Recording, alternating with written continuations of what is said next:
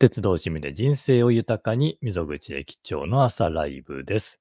今日は、鉄道じゃなくって、駿河湾フェリーを取り上げます。駿河湾フェリーご存知ですか？まあ、静岡のね、まあ、駿河湾っていう、まあ、入り江がございます。そこを渡るフェリーがありましてね。ちょっとそれに乗ろうかなということで、私もいろいろ調べたので、その内容をお話しします。でですね、えっ、ー、と、概要ですね。駿河湾フェリー、こんなフェリーです。えっ、ー、と、静岡県の清水ありますね。えっ、と、静岡鉄道もありますけれども、えー、清水、清水というところから、え、伊豆半島の土井というところを結んでいる船でございます。でなんとですね、まあ、短い航路なんですけれども、まあ、それでも1日4往復もあるんですね。えー、ということで、乗船機会が多いです。で、実際乗ってるのは片道1時間15分という短いね、えー、航路になっております。運賃は大人2000円、子供1000円ということで、まあ、前室、まあ、2等といいますか、えー、同じクラスですね。あと、特別室といいますか、貸し切りのお部屋もあるみたいですけれども、それはまあ別料金が必要となります。あと、まあ、フェリーなんで、えー、車乗せたり、バイク乗せたりということももちろん可能です。えー、料金はね、えー駿河湾フェリーの公式ページで見ていただきたいと思います。で、公式ページがこちらですね。えっ、ー、と、こんなページがございまして、まあ、ちょっと右の方にちょっとだけ出てますけどね、え、このフェリー航路が県道223号線を、まあ、兼ねているということでね、海を渡る国道、まあ、県道か。というのでね、え、ー、と、船に県道のね、えー、標識もあるということで、そこがね、面白い船でもあります。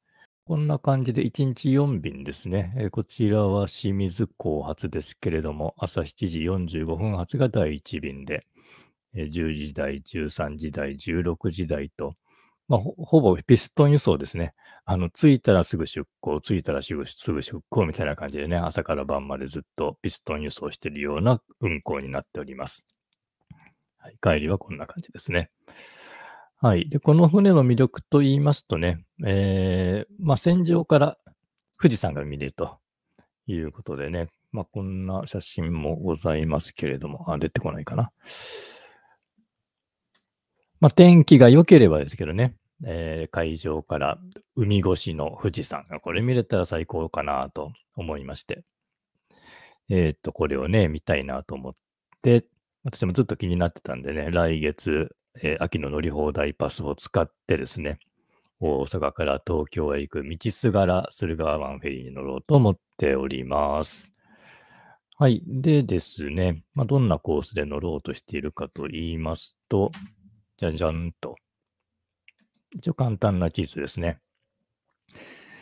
えっ、ー、と、青い線、えっ、ー、と、左上、まあ、静岡市の隣、清水からですね、船に乗って、えー、駿河湾を渡ります。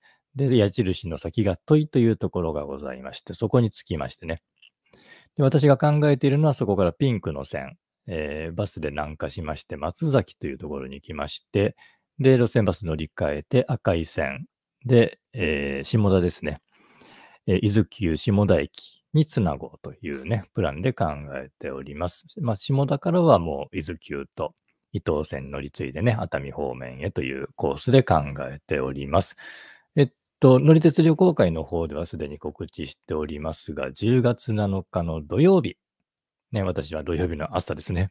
もう始発で大阪を出てお昼ぐらいに清水に着いて、で、この船に乗ろうと思っております。まあ、もしね、えー、一緒に行きたいなという方であったり、あるいは静岡にお住まいの方、えー、駆けつけられる方はですね、一緒にこの旅しませんか？旅行会のページでご案内しております。はい。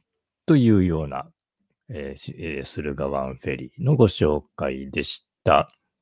どうですかね皆さん、知ってました？こんなフェリーあるって。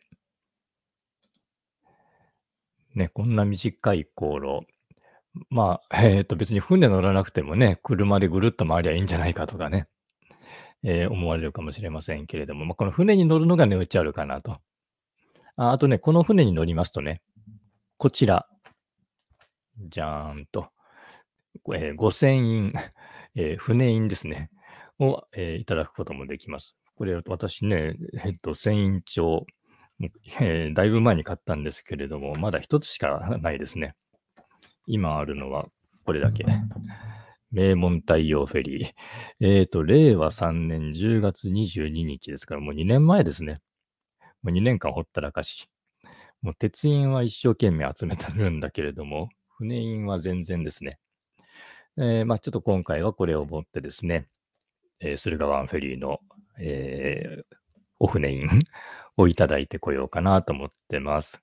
まあ、あのーまあ、メインは鉄道なんですけれども、まあ、えー船印とかね、えーそういうのをも集める のもついでにやりながらですね、えまあ、結局その近くに行くのは鉄道になりますんで、まあ、そういう楽しみ方もしようかなと思っております。はい、まあよかったらご参加ください。はい。ということで今日は船旅ユースルガワンフェリーを紹介いたしました。